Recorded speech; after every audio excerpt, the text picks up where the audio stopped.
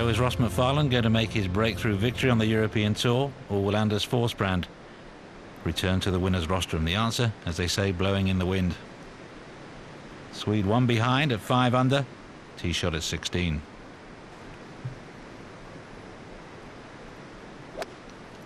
With a pin on the left and the wind coming from the left, so hard to work the ball into the flag. And they've got a very hard bounce. Just pitched right on the top of the knoll.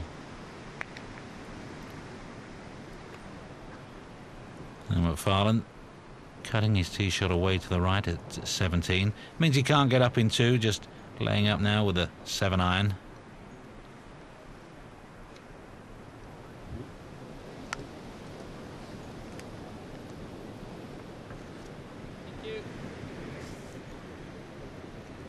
Just into the first cut of semi rough, but a good angle into the pin.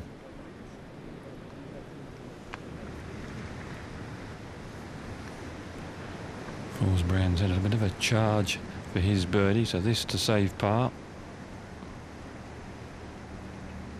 Virtually dead straight.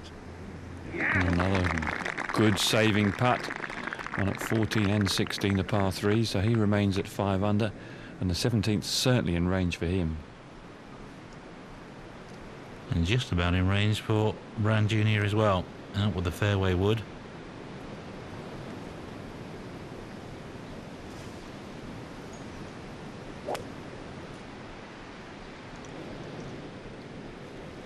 Just headed a little left. Oh, he had enough club, but into the trap.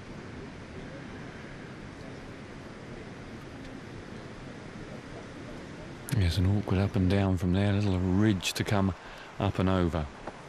Good rounds from Robert Allenby and Katsuyoshi Tomori. Top 10 finishes perhaps, but McFarlane still hanging on. One shot lead. What wouldn't he give for an up and down from here?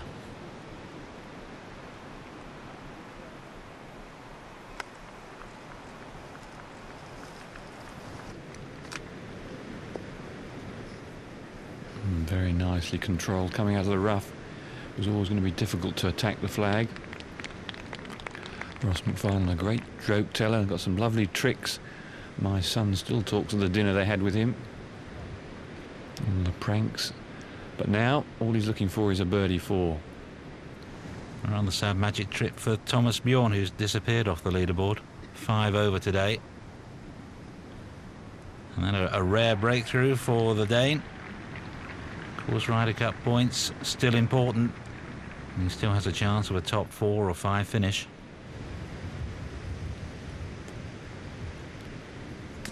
A nice upslope lie and just pitching straight into the tier. Pretty well played. Just needed to carry another two or three feet and that would have been very adjacent to the flag.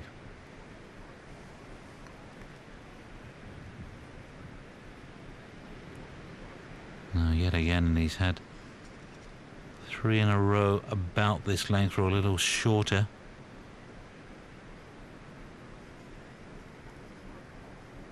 Does he attack or does he settle for a par, consolidate? Well, he was trying to hold that, make no mistake. It's going to be a good five again for McFarlane. One hole closer, one to play. Well, he won't be taking any prisoners here. He was trying to hit a little too hard. It's drifting right. Well, nearly took our camera tower out and has landed very close, and he may need to, to get a ruling, to get a drop.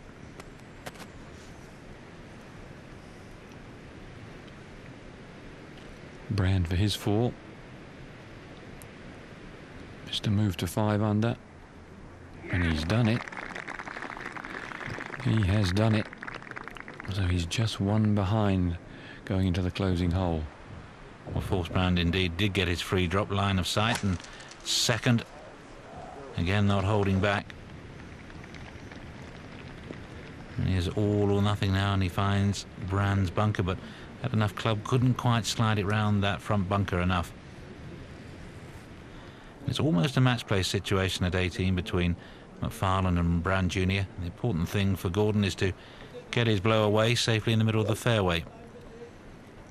Got one of these old metal drivers, Steve, which The head looks the size of a pea. Well, certainly compared to the new ones out there. And how they lift it, let alone swing it.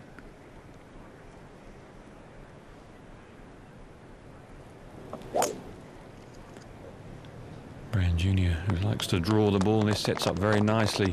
The 18th, 450 yards, but the breeze helping today. That's exactly what Brand Junior had to do. He's safely on, he's opened up the pin, and he's asking the question of Ross McFarlane. Banished all those thoughts of Jersey in 88, of Forest of Arden last year when he left his tee shot at the par 3 across the lake fatally short. Just one good swing.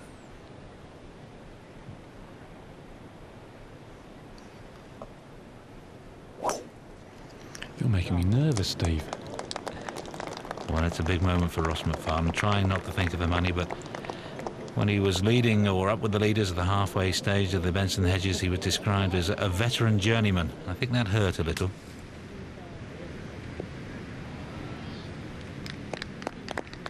Again, having problems with a little tear.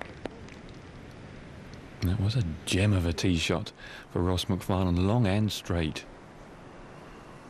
I think fair to say he's a, a little pumped up at the moment.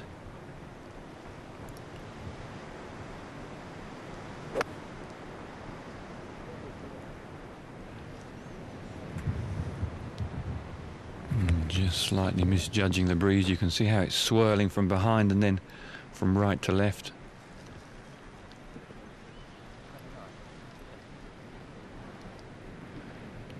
And having seen that, you can bet that McFarlane will want to make sure that he's firmly on the green. The pin cut quite close to the front edge and just behind will do nicely.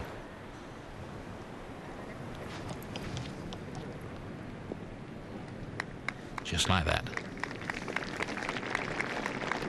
That was as near perfect as you can possibly get. He's put a bit of lead on his irons this week, moved the swing weight up from D0 to D3, and he's just enabled him to feel the club head through the ball.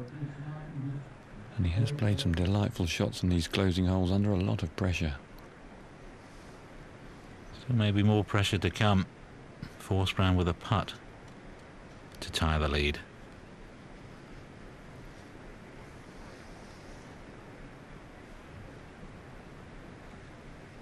Told a number of good ones today, but that one, in the circumstances, just a little too tentative. Should have got it up to the hole at least. He's misjudged the pace on a number of putts. 11, he was a long way short. 16, he belted it six feet by. And from that sort of range, in this sort of situation, he didn't ought to have left it short, and he knows it. Well, this chip surely has to go in for Gordon Brand Jr. And he too, when he needed to be up to the hole, found wanting.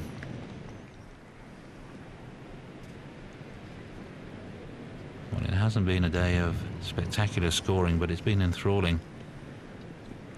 And it may just be a, a day that Ross McFarlane will remember for the rest of his life. Certainly, if he pops this one in, I think we can give him the trophy. This for seven under.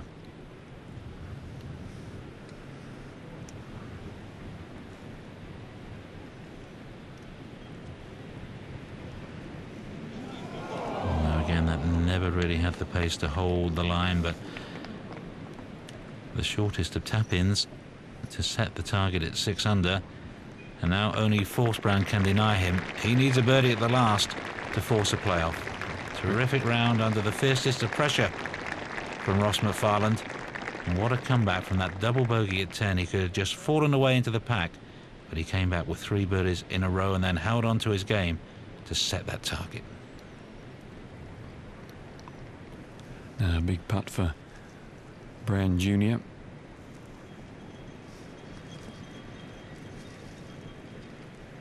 Beautifully done, so he's in at five under par. And that'll be worth a bit of boodle by the close of play today. Yes, especially for a man who's won less than £8,000 so far this season. Now Anders Forsbrand back on the tee, looking to unleash a monster over that tree on the centre of your screen. Oh, he really has cut the corner of the dog leg off. And it's a bit further than that, I think. But has it found the fairway?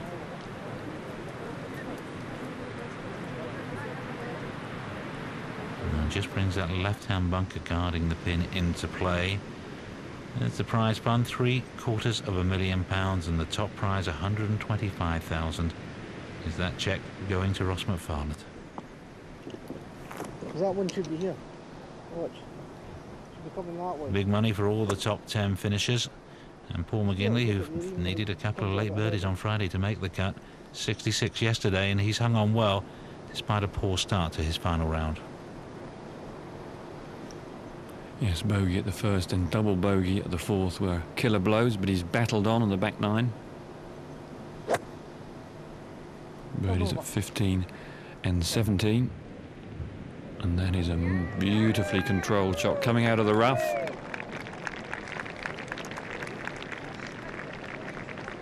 He'll have that to tie his fellow Irishman Darren Clarke at four under. Well, it's not an easy shot for Anders Forsbrand, but he's got a big, powerful swing. He may get some control on it.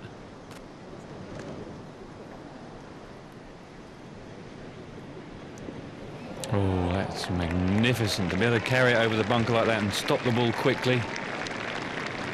He must have just pitched on a little bit of an upslope, but uh, you need a good break now and again. That was beautifully controlled.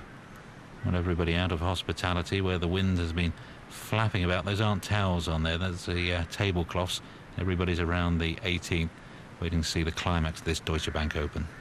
It's not for injured golfers, is it? I've been one or two this week, haven't there? And one or two battered egos.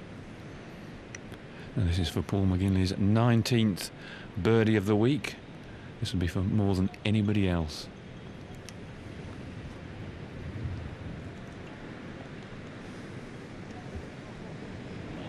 Good judge of pace, but I have to settle for 285, three under. There's uh, McFarlane. He's bound to be a little anxious now. Forsbrand really has given himself a chance of forcing a playoff. A fine four for Paul McGinley, and despite two double bogeys on his card, the fourth and the twelfth, a good closing stretch of four holes, and he managed to get round in 74. So after missing his last two cuts, he's back on the right track. Six wins in Europe for Anders Forsbrand, but he's been in three playoffs and lost the lot. But this to force extra holes at Gut Kaden.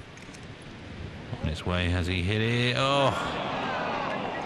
Well, agony for Forsbrand as wife Stuart looks on. He can't believe it. He had chances at 17 and 18. Yeah, that putt seemed to go from the centre of the hole with a foot to go right across the front of it. So a share of second place for Anders Forsbrand, uh, 73. Misery for Anders. But for Ross McFarlane, ecstasy. They won't call him a veteran journeyman anymore. Thomas Bjorn and Howard Clark both finished shared ninth at two under. But the man of the moment, Ross McFarlane, a day he'll never forget. This is so sweet. After all this time, the victory is, is sweeter than anything else. Mind you, a cheque for £125,000 will help the celebrations along, and that moves McFarlane into number seven on the Volvo rankings. Bernhard Langer missing the cut, staying at number two. Number one place, Ian Woosnam after that fabulous win at Wentworth the previous week. And Woosnam knows he'll be at Valderrama for the Ryder Cup by Johnnie Walker. Now knows he'll be joined by Darren Clarke after the Irishman's fourth place. McFarlane in there at 17th. You never know, but for the moment, this week will do nicely.